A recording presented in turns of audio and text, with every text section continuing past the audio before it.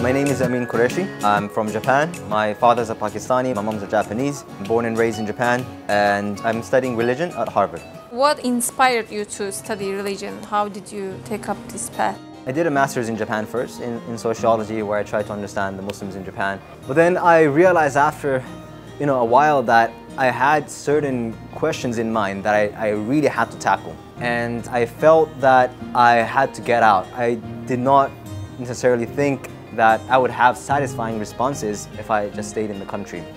You have a Japanese mother and a Pakistani father. Obviously, there's a cultural difference. So how was it at home when you were growing up in Japan? In Japan, you don't really show your affection in the same way that I guess Pakistanis do.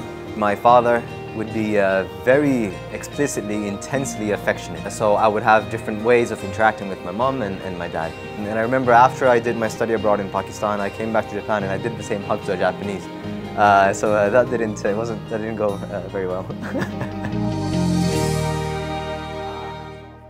Have you faced any difficulties as an immigrant child and a Muslim? I was born and raised in a city called Nagoya. It is one of the big cities, but it's not as international as, for example, Tokyo. Though my parents were, were pretty intentional, they made me go to schools that were somewhat international. I did have my own problems with identity and trying to make sense of who I am. I guess I did try to fit in. That's been the story of my life until a certain point where I try to get rid of the foreignness uh, in me and try to become as Japanese, whatever that means, uh, as possible.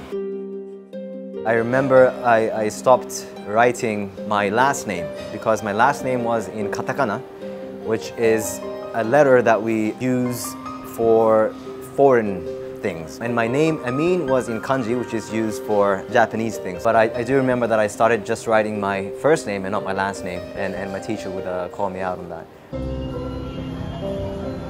Do you think there are similarities between Japanese cultural teaching and what we have in Islam? There's a joke that you know people make often. They say that the non-Muslim Japanese are more Muslim than, than the Muslims. What they mean by that is the level, level of their kind of akhlaq, you know, their uh, decorum, their mannerism. They see something very Islamic about, about the Japanese people. It's a beautiful thing, but I, th I, think it's also a problem for the Muslim community because for especially the second generation Muslims, they grow up in beautiful environments, right? They, they go to places that are fancy, well, you know, very clean, and tidy. But then they go to the mosques that are not, you know, smelly. It's, uh, you know, they might see like cockroaches and so on. And even the Japanese people that they would interact with, they're much more comfortable being with them than they are uh, being with Muslims. That seriously, I guess, affects the process of trying to identify who they are and who they want to be in a, in a pretty serious way. When we say second generation in Japan, who are they? The second generation Muslims are basically the children of immigrants. A lot of them have um, a Japanese parent and, and, an immigrant parent. For example, like me, you know, Japanese and Pakistani. When they go to school, they realize this uh, dichotomy, right? There's this, you know, Muslim environment at home, and then there's something that's completely different uh, at school, and they feel like they're being expected to be something very different. They're having a hard time trying to make sense of it as well. They don't know uh, what to do with this. So they question whether they're Muslim or Japanese. Many of them not realizing that that could, you know, it could be both.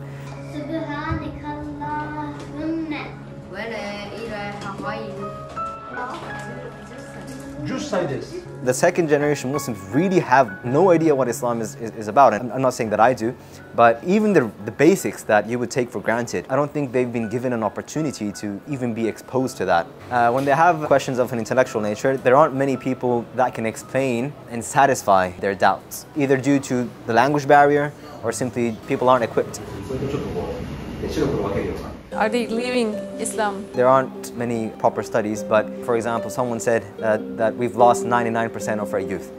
Uh, whatever losing means, maybe that means, you know, a simple distancing from the Muslim community. Maybe that also means actually distancing themselves from the faith uh, entirely. We don't know about the actual percentage, but it's, it's very noticeable.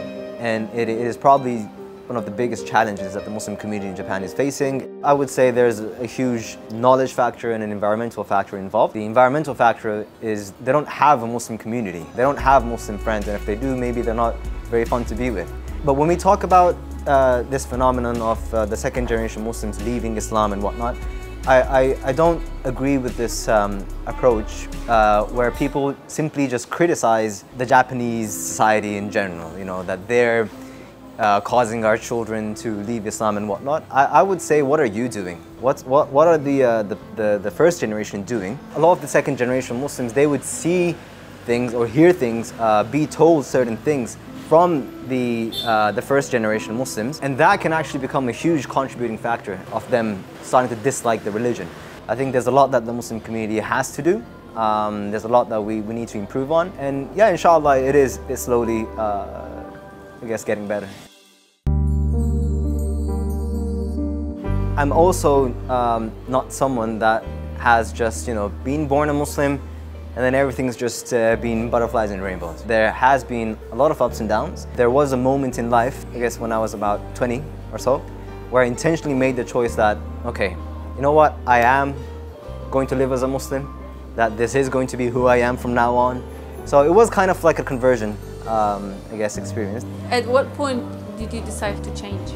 The huge, this powerful pull that happened for me was when I entered university and I met someone who was also half Japanese, half Pakistani. And he was a young guy, well-dressed, funny, and he was, he was this like really cool guy. The fact that he was cool and also Muslim at the same time, I mean, that was just, you know, that, that was a, a, a shock to me.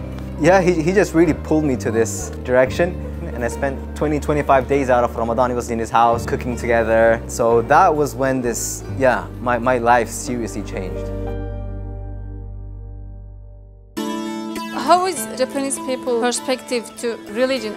So if you open up a dictionary, religion is shukyo in Japanese, but it is not the same as deen, for example, in Arabic. The word shukyo comes with certain understandings of what religion is. There's a historical kind of development that led to that uh, understanding. Oftentimes, especially with religions like Islam, kind of, you know, religions that are not indigenous to the country, they can be viewed in a not necessarily a positive way. So some people in Japan, they see religion as something very cultish, something very strange. For some people, it's divorced from kind of that spiritual, even the word spiritual is not necessarily positive. That beauty that we would see in religion, that might not exist in many uh, you know, many people's uh, minds. It's a bit weird for you to say, you know what, I, I'm not going to do A, B, and C because I love Allah. Like that is like, wow, what are you doing? And when they say I'm a Buddhist or I'm a Shintoist, it means quite a bit more than a simple statement that we would make. Like, you know, I'm a Muslim. It's, it's more complicated than that. Why do you think Japanese Muslims come to Turkey? I've been in Istanbul for two months now. People here, even the foreigners, they talk, and you, you too. You have so much good things to say about this place, about this country. When I'm with people from the States or Japan, they have negative things to say about their country, maybe much more than the Turkish people and the foreigners living in Turkey or Turkey. I've, I've, encountered a lot that are students of Islamic knowledge. Just being able to hear the adhan and a Muslim-friendly environment is something that seriously uh, appeals to their hearts. The fact that there are a lot of scholars here that they can benefit from, that's a huge plus as well, obviously. I've been meeting many academics here, and something that they would say probably is, is that there is a certain level of freedom of speech on, on certain topics that perhaps you cannot uh, possibly talk about uh, in the West. You've been here for almost two months. How was your experience in Turkey?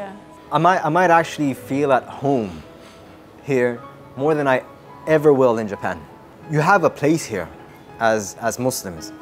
You have um, things you can do as a Muslim family. I, I went to a mosque the other day um, for Fajr. You know, you have all these like families and couples and whatnot.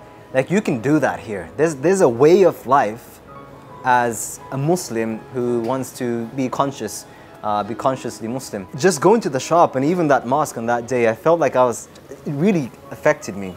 You know, I was, uh, kind of felt like I was about to cry it feels like you're, you're very much part of society. You're not some random side dish that no one really wants. You belong here and you have your people and uh, yeah, you can live as a Muslim. Um, and, and that's, that's amazing.